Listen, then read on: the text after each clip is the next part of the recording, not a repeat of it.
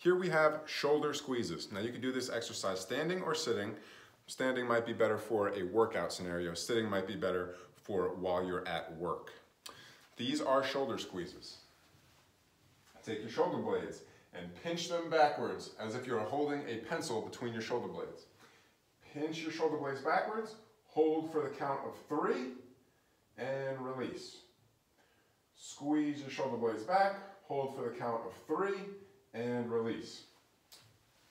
You want to make sure that your neck doesn't do anything, uh, doesn't have any movement while we're doing this. We want to keep the spine nice and straight and that we're not extending back and we're not going forward.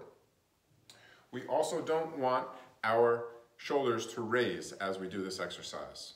So shoulders go back and squeeze together, not up. We're squeezing back. Hold for the count of three and release.